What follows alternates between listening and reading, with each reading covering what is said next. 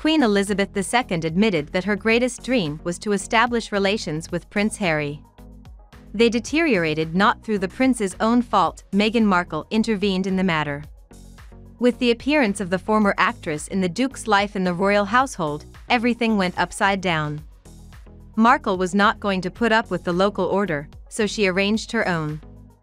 Because of the willful brunette Harry began to interfere with his grandmother, which drove the Iron Queen in a frenzy. So, the bone of contention was Meghan's wedding dress. According to customs, she could not wear a snow white outfit, as she was already married, but she did not obey the punishment. The prince appeared to support his beloved. She, the queen, was shocked by the way Harry behaved, by some of his demands and the fact that he was doing things his own way. I remember how upset she was with Harry's disgusting behavior. All of this very much spoiled their relationship, the Daily Mail quoted one of the royal maid of honor as saying. Did you enjoy this video?